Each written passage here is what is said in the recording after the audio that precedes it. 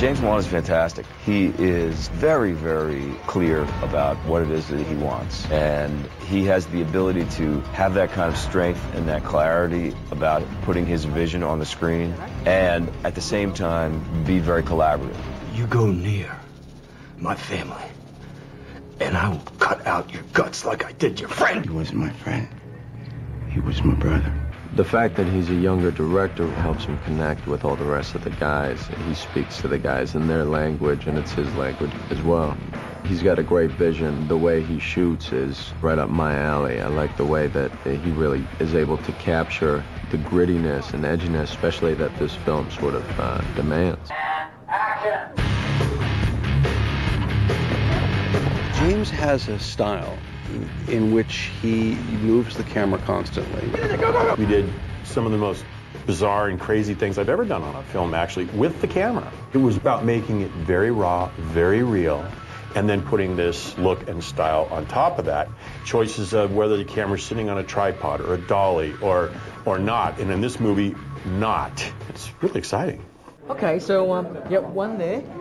This is, I'll get Kevin in the background and get, get a bit of a perspective happening in the background. He is so visual. It's such a pleasure to work with a director who's as visual as him because he really inspires you to keep pushing yourself further to find more interesting, even more crazy ideas. I feel sort of lucky to be, you know, on the ground floor of somebody that I think is going to be around for a long time and is going to do a lot of great films.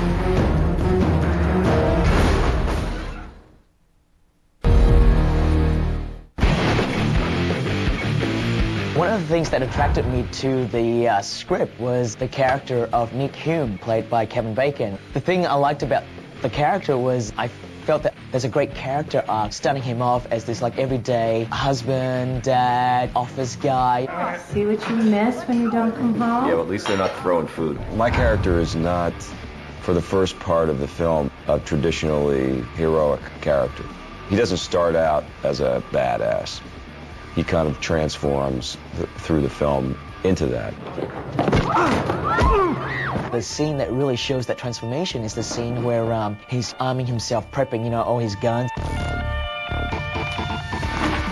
Here's a guy who's never fired a gun before. He's got a, a, a, manual, you know, on how to use a firearm. He's like, he's looking at the gun, you know, like it's some strange alien thing, right? And he's trying to work it out, but at the same time, he's transforming and becoming one of these guys. And the ultimate depiction of that is, you know, he ends up shaving off all his hair, you know. He physically transforms and he becomes looking like one of these gang members. And I think that was part of the appeal for Kevin to play someone that, you know, he could literally change, you know, from one side of the coin to the other side of the coin. Yeah, it's the kind of stuff that actors love and it gives them a lot of fun things to, uh, to play with.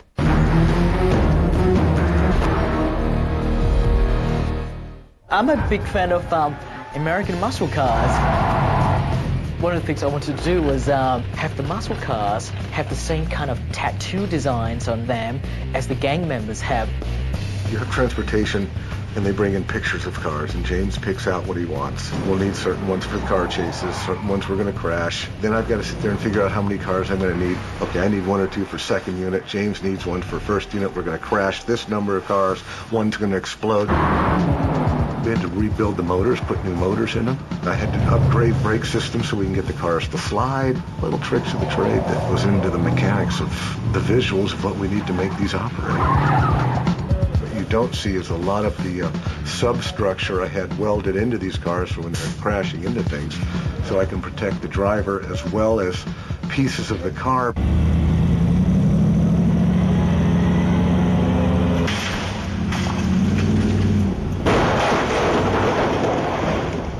A huge budget picture, sure, you can go out and buy six of these and blow them up. On a medium budget picture like ours, you want to be careful. We want to get everything done and save that for last.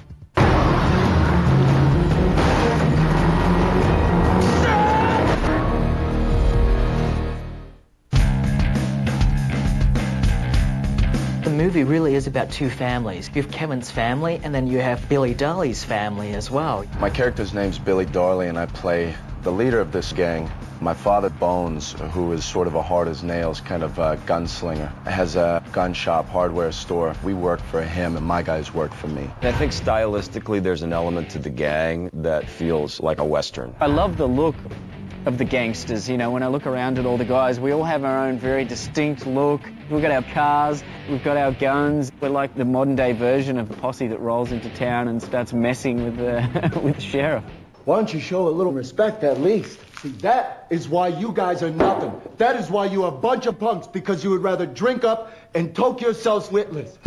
That was the most fun thing was, you know, just like getting Garrett into the uh, wardrobe and hair and makeup, right? Just shaving off all his hair, putting tattoos on him, and the guy just transformed literally 180%. He's a leader, so he carries himself a certain way, and then you need to have the clothing that fits that.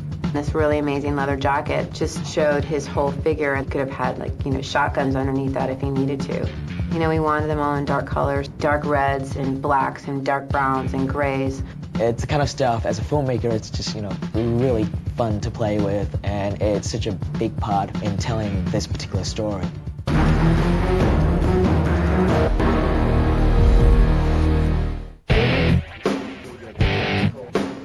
Big part as to why I picked this film is it allows me to branch out a bit and do something a bit different from the horror films that I'm well known for and tackle another movie in a genre that I also love, which is um, action thriller.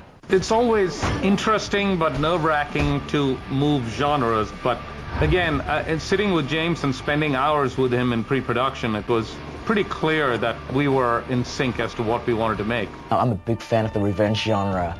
I like some of the classic revenge films from the 70s and the early 80s. I've always kept an eye out for a movie that is kind of like in this vein, like um, Rolling Thunder, Death Wish, or even Mad Max for that matter.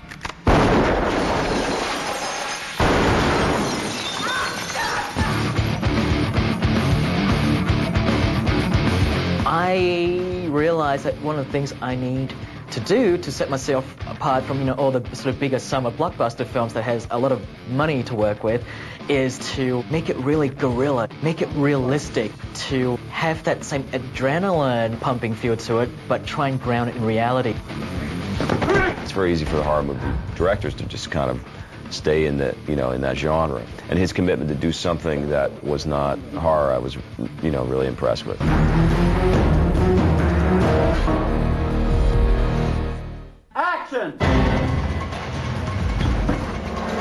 The chase starts off in the middle of a busy city street. Kevin runs for his life through back alleys, into the kitchen of a restaurant, through a basement, out into a parking garage. With the actual chase through the parking garage, I was thinking, how can I make this different? Do something that we haven't really seen before. And I said, wouldn't it be cool if we tried to do it all in one shot? He says, I want, I want to follow Kevin. Then, you know, John, I want to like pass the camera through this railing as Kevin climbs over it. And then the camera would pull all the way back to the edge, and there'll be a guy sitting on like a giant crane. He'll literally grab the camera and then like drop all the way down, and then someone else at the bottom would pick it up and run with the camera. And then I'll then put it on another crane and bring it up and find Kevin again and take the camera off and then follow him up the fifth ramp to the top. John, I want to do it all in one shot. And so I said, okay,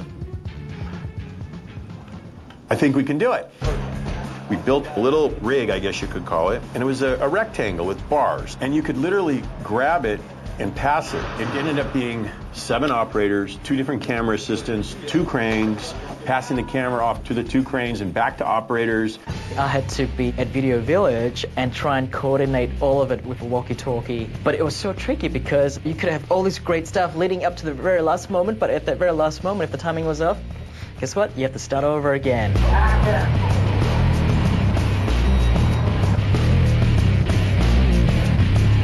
Did this shot for 12 hours trying to get one good one. And I was exhausted. I mean, I was just panting and, you know, breathing and just ready to throw up on my shoes. But it was great. This is an amazing, amazing sequence. And this one shot, I have to say, is pretty cool.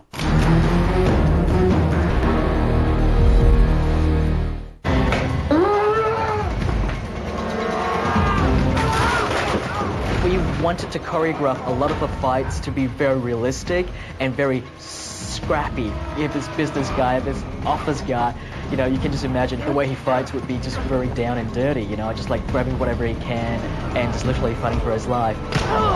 He's not a man of violence, so he shouldn't know how to fight. He's got to reach within himself and figure out how he's going to hurt these people.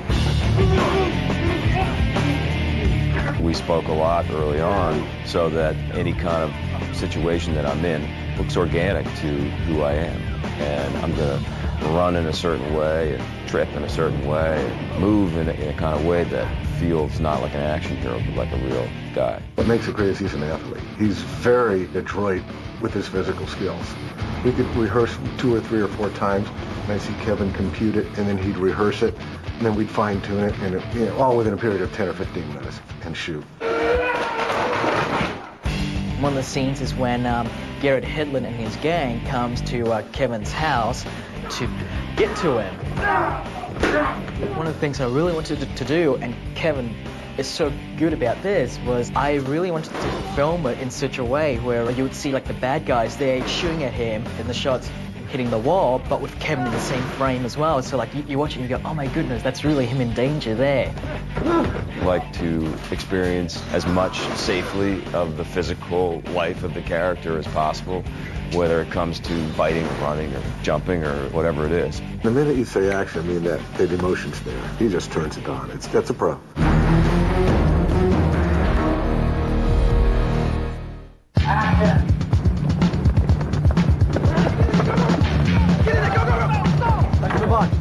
Hume's being chased by the gang. The whole sequence is a lot of very fast cuts. One of my aims was to shoot action scenes in a uh, very realistic way. I wanted the chase to be guerrilla style, you know, shot from the hip. It's got a very documentary feel to it in a way that we're sort of not used to seeing action scenes in a very traditional Hollywood action film. It was something that we discussed in the beginning for a lot of these foot chases. You keep the cameras moving, you're going to keep the audience moving with it. We used this rig called the rickshaw, which is basically bicycle tires and a rickshaw looking like thing that our grips built. And we put our camera operator in it because there's no way we could have kept up if we couldn't have a cart. We also use this thing called a mule. That's like a 4x4 fast golf cart with a good suspension. And so we could rig cameras all around that. You could, could, go really fast, really quick, so you could get close safely to, say, Kevin or the gang members running. It's not your big special effects action film. This is mostly very in camera, real, and organic, and raw. And action! We came out here to uh, Columbia, South Carolina because we wanted a very generic looking city and Columbia was great because Columbia can basically be passed off as, you know, anywhere USA. We found an abandoned mental asylum.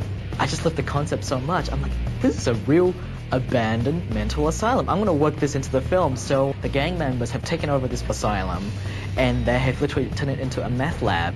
Originally the script was through a motel but we fell in love with the hospital so much. We were like why not make it an abandoned mental hospital? Which made it more interesting for me because like i actually used all of the old props for a lot of the design. Like when you came into the uh, mental hospital i stood beds up on their end to create walls so that you had to go a certain way. And then you could shine light through it and you could just see these eerie hospital pieces. I love to take locations that aren't supposed to be something and turn them into something else. Help you I need guns. Bones' garage was an old laundry facility. When you watch them come in, you'll see all the industrial washing machines to the left. Designing his desk, I took two partner desks and cut a piece of acrylic out so he could sit comfortably in it and like made a special chair for him that used to be like the inside of a car bench. And then I made the safe so it was part of the wall, so it almost was like a secret door. If I can add something to the story by by doing something cool and funky like that, that's the most gratification for me. Not necessarily building this huge, enormous set. It's more just about helping the story have more of an interesting, more of an interesting twist.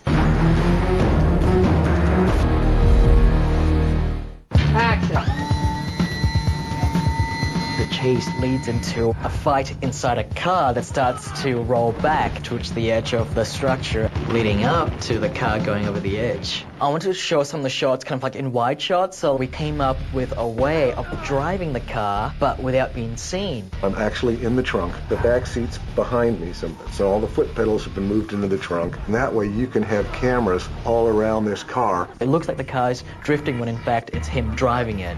He could literally slam on the brakes if it gets too close to the edge.